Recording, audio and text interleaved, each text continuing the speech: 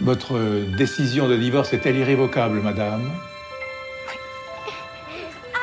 Et vous, monsieur, est-ce que votre décision est également irrévocable Oui.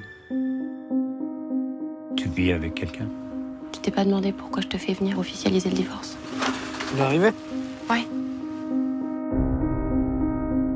Depuis que je suis née, ça fait trois fois que ma mère change de mec.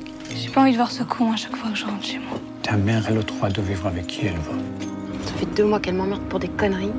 Peut-être que tu peux lui parler Ma mère t'a rien dit Attends Qu'est-ce qu'il y a, Ahmad Elle a l'air d'être au courant de tout. Je veux pas qu'ils soient ensemble. Je pense que ça dépend de toi et moi? On doit rentrer à la maison pour l'instant. Tu m'as dit que notre maison c'était là-bas, pour toujours. Toi, tu dois rester ici avec maman. Pourquoi tu m'as fait ça? Qu'est-ce que je t'ai fait? Je laisserai pas cette petite détruire sa mère. C'est un malentendu. Bah, c'est quoi ce malentendu de merde qui pourrit nous vie depuis des mois? Faut qu'elle rentre, qu'elle vienne poser ses fesses là et qu'elle voit la merde qu'elle a foutue dans ma vie.